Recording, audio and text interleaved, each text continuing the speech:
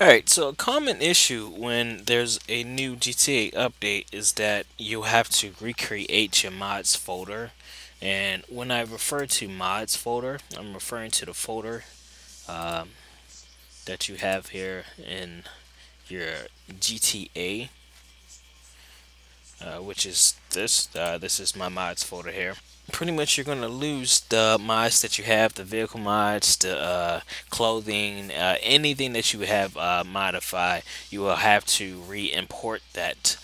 Trying to do is trying to see if I can kind of get OpenIV to recreate the mods folder, get this folder, well this RPF into the new mods folder and what I did is I uh, went to vehicles, uh, RPF, I selected. So I selected edit mode, select yes, and it asks me, it says, would you like to import, it, it basically said that there's an up, updated mods folder. Would you like to import the, data into uh, the new mods folder? And I say yes. Make my screen go from full size to, um, what do you call it, window.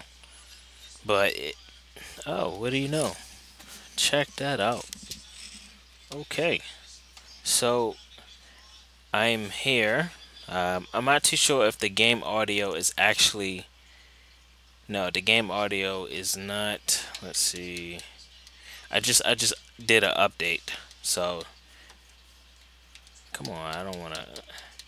I just did an update to my uh my audio, so the game audio may and it may not actually yeah, it's the game order is not gonna work.